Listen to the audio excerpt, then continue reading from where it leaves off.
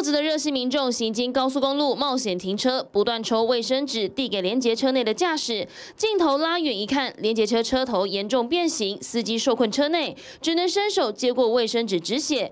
消防队到场后，想办法破坏车门，要在狭窄空间内救出患者。驾驶意识清楚，但全身多处伤。消防队员准备长背板，小心翼翼把人抬出来。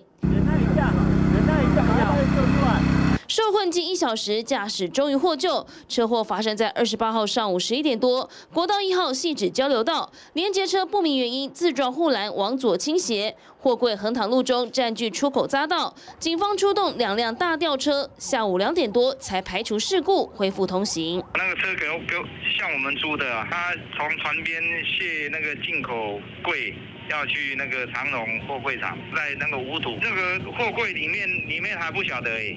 那个要明天上班，他们船公司才有办法查到。事故车辆从基隆港出发，经过细致时不明原因翻车，驾驶是六十二岁的侯姓男子，送往急诊室观察。他的家属透露，货柜都有过磅，没有超重问题。驾驶天天开同一条路线，是有几十年经验的资深司机。警方怀疑可能是操作不当翻车，酒测值还有待检测。驾驶骨折，全身多处伤，得休养几个月才能重新上路。至于为何？自撞得等到行车记录器被还原后就能解答。TV 二零龙是简约起江明翰 S 小组新北市报道。